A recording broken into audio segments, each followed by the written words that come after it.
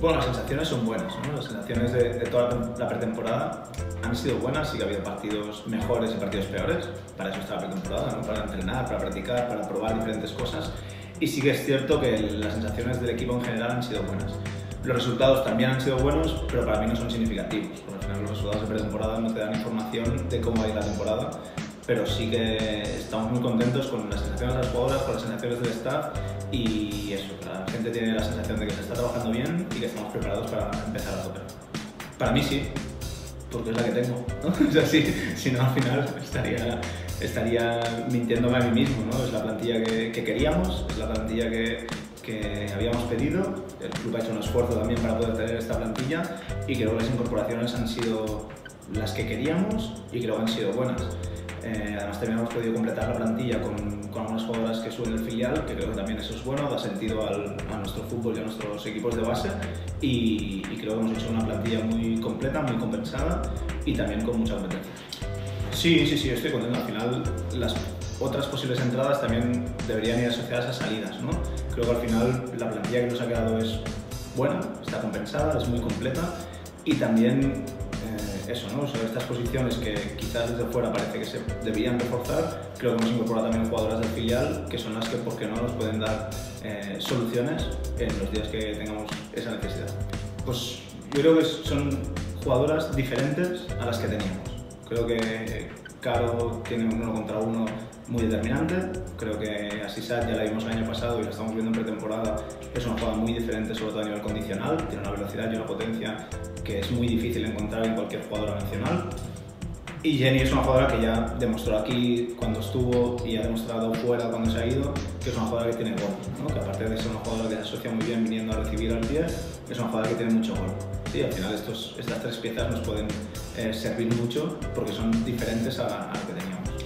Yo creo que al final el, el sistema para mí es una posición estática de las jugadoras que tampoco te da mucha información. O sea, al final jugar 4-3-3, 4-2-3-1, 4-4-2, sí, en el dibujito de, de, la tele previo al partido queda muy bien, pero realmente lo que quieres es, es que las jugadoras hagan determinadas cosas dentro del campo, se muevan de determinada manera, las asociaciones que, que crees, las sinergias que crees sean unas determinadas y eso va más allá del sistema, ¿no? Aún así, y hablando en el argot que todo el mundo quiere escuchar, pues creo que el 4-3-3 es algo que nos encaja en nuestro modelo, en nuestro estilo, en nuestra idea y, es lo que, lo que de entrada vamos a hacer, pero sí que es cierto que hay muchos partidos, que hay partidos en los que quizás mejor cambiar, en los que igual una jugadora ya te condiciona a jugar de otra manera o que quieras buscar cosas diferentes a las que, a las que estás buscando normalmente. Sí, eso es un, es un plus. O sea, que una jugadora te pueda jugar en varias posiciones es un plus. Mariona puede jugar en cualquier posición, posición de las de arriba. Pati te puede jugar en cualquier posición de carril central. Después hay jugadoras que, como Aitana, que también puede jugar en cualquier posición, tanto de dentro como de arriba, porque al final son jugadoras que entienden el modelo, que entienden, entienden a qué juega el Barça y son capaces de adaptarse en cualquiera de, o en cualquiera no, pero en muchas de las posiciones en, de las que contamos, ¿no? Entonces yo creo que esta versatilidad o esta polivalencia de las jugadoras al final lo que nos hacen es facilitar nuestro trabajo porque tienes más opciones y lo que hace es ser también más imprevisible de cara a los rivales porque puedes jugar con estos cambios, estos cambios de posiciones que al final también haces que el rival sea más difícil preparar los partidos contra nosotros. Lo vamos a intentar, ¿no? O sea, yo estoy aquí para intentarlo. O al final si ganaremos la liga o no, no lo sé, el año pasado que el Atlético de Madrid sumara 28 victorias, pues algo que a lo mejor hoy no prevemos para, para, esta temporada, pero que puede pasar. O sea, al final, si un equipo, cualquiera que sea de nuestros rivales, suma 28 victorias, la liga está difícil, estará muy difícil.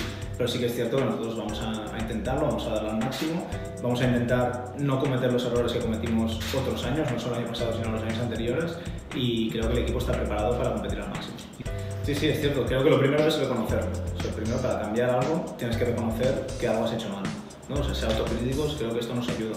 Creo que el vestuario es consciente de qué hizo mal el año, el año pasado, la temporada pasada, y creo que también nos ha ayudado en esta pretemporada a trabajar sobre estos errores. Porque no solo es perder contra el Huelva, porque perder contra el Huelva o es un resultado, es una consecuencia de muchas cosas. Entonces, tienes que encontrar el por qué pierdes contra el Huelva, o el por qué pierdes en Ganadilla, aunque sea un partido que ya no te juegas nada prácticamente, porque el rival está ganando, o porque empatas contra el español. ¿no? O sea, no es solo el ganar o perder, que al final ganar o perder es consecuencia de muchas cosas, algunas que no controlas, sino el por qué. Y entonces cuando ya encuentras el, el por qué, es cuando puedes trabajar sobre ello. ¿no? Creo que esta pretemporada estamos trabajando bien sobre estos errores y no solo sobre estos, sino sobre las cosas que hemos hecho bien también el año pasado. Y el hecho de haber conseguido buenos resultados en la pretemporada, en todos los partidos, en todos los amistosos, pues creo que ya es un buen síntoma de que nos estamos tomando cada partido como si fuese una final de Champions. Sí, igual sí. Igual es, es algo que, que tenemos que, que, mejorar también, ¿no? Porque al final con los nombres no ganas ningún partido, con el salario no ganas ningún partido, con el club no ganas ningún partido, o sea, con tener mejores condiciones no ganas ningún partido. O sea, los ganas cuando haces cosas bien sobre el terreno de juego durante el tiempo que dura el partido, ¿no? Entonces ahí yo creo que el hecho que haya tanta competencia, el hecho que haya tan buenas jugadores que pueden jugar y que están preparadas para jugar, creo que también ayudará a que las que estén encima del, del césped del día de partido pues intenten cometer menos errores o no puedan cometer estos errores por relajación que a veces han cometido. Yo creo que al final los entrenos ya te llevan a tener a las jugadoras eh, enchufadas, ¿no? Entrenar a un buen ritmo, proponer tareas que sean exigentes, que sean competitivas, en las cuales también el hecho de tener jugadoras tan buenas en la plantilla hace que entre ellas pues, compitan más y, yo siempre digo, y aunque suena tópico, que se juega como se entrena, ¿no? Porque al final lo que pasa durante la semana es lo que se va a ver reflejado el fin de semana y creo que ahora estamos entrenando muy bien y creo que esto ayudará a hacer buenos partidos. Yo creo que más que presión es responsabilidad, pues que al final jugar en el Barça lleva eso. Es que no es, nadie dijo que fuese fácil jugar en el Barça o entrenar, en el Barça, ¿no? Creo que jugar en este club lleva consigo una responsabilidad que no solo tienes que jugar bien, sino que tienes que intentar ganar, transmitiendo unos valores y jugando a un estilo muy determinado. Entonces, eso es lo que supone jugar en el Barça. Y quizás hay jugadoras que no estén preparadas, quizás hay entrenadores que no estemos preparados, no sé, ya, ya, lo veremos, ¿no? Pero al final, yo creo que más que presión, que presión lo tendrá un cirujano en una operación de vida o muerte, seguramente, creo que es responsabilidad. Es responsabilidad y creo que todos los que nos gusta esto, nos gusta el fútbol, todos deseamos jugar con esa responsabilidad, responsabilidad y creo que es bueno, ¿no? Eh, jugar con ello que es cierto que veremos si las jugadoras están más o menos preparadas, preparadas para jugar con esta responsabilidad.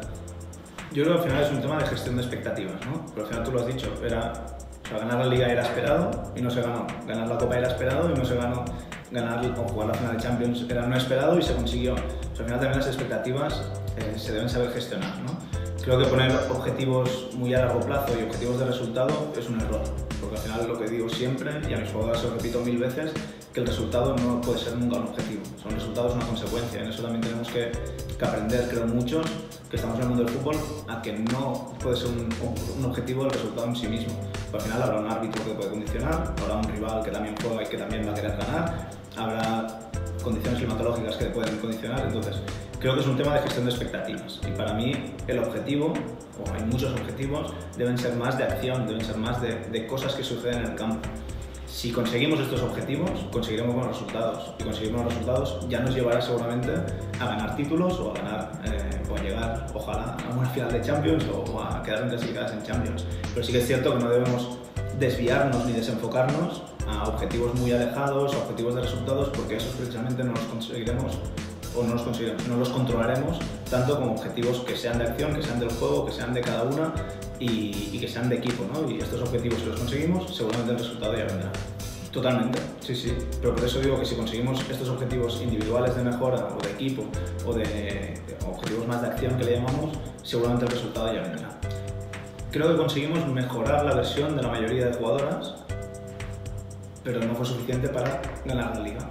Entonces tenemos que seguir en esa dirección, que las jugadoras deben ser conscientes que tienen margen de mejora, o sea que tal como acabamos la temporada, aunque ganásemos en Múnich, ganásemos la Bayern en casa, nos metíamos en la final de Champions, que eso estuvo muy bien, pero no estaban, según mi criterio, que al final soy el que decido, según mi criterio, no era su mejor versión, o sea, siempre hay cosas que mejorar, o creo que del año pasado hay muchas cosas que mejorar, y también hacemos reuniones individuales con las jugadoras en las cuales determinamos también cuáles son sus objetivos de mejora, cuál es su plan de acción individual y sobre esto también poder trabajar y poder mejorar para conseguir realmente la mejor versión de cada jugadora. Podría ser. Pero al final hay factores que no controlas, como es un resultado de, como es un sorteo de, de Champions, que al final te puede tocar ciertos rivales que todos conocemos, que tienen muchísimo nivel y a los cuales es mucho más difícil ganar o superar que otros rivales. Y eso es así. Es un buen rival, sí, sí. De hecho, de los uno cabezas de serie, seguramente eh, si tuviésemos que marcar los que no queríamos, pues estaba el Arsenal, estaba la Juve y bueno, nos ha tocado la Juventus.